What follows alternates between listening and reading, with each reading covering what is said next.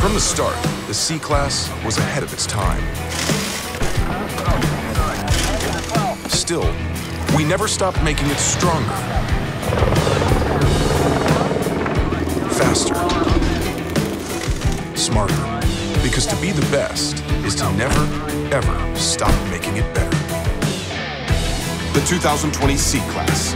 Mercedes-Benz. The best or nothing.